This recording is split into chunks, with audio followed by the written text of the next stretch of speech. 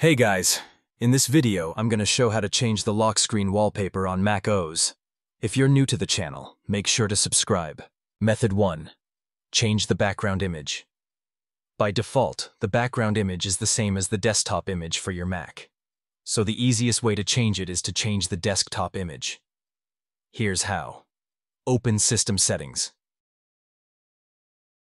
Click Wallpaper.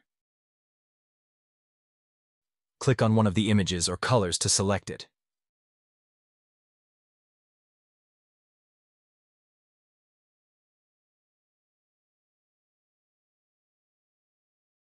If you want to add an image from a folder in Photos, click Add Folder and select the folder.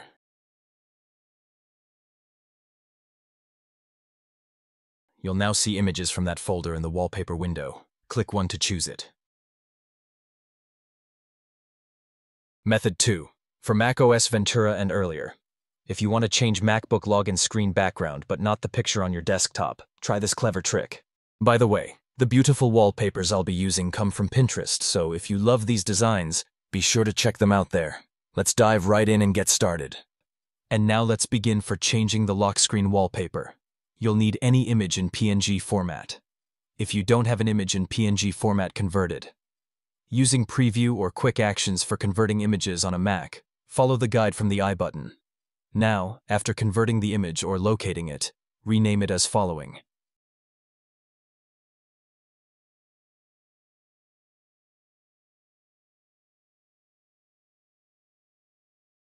After renaming the file, click on Go, and from the drop-down, click on Go to the folder. And enter the following directory path.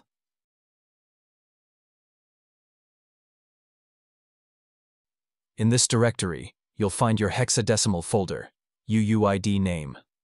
Open the folder, and you should find a lock screen PNG file. Now drag and drop or copy-paste the lock screen PNG file you created into this folder.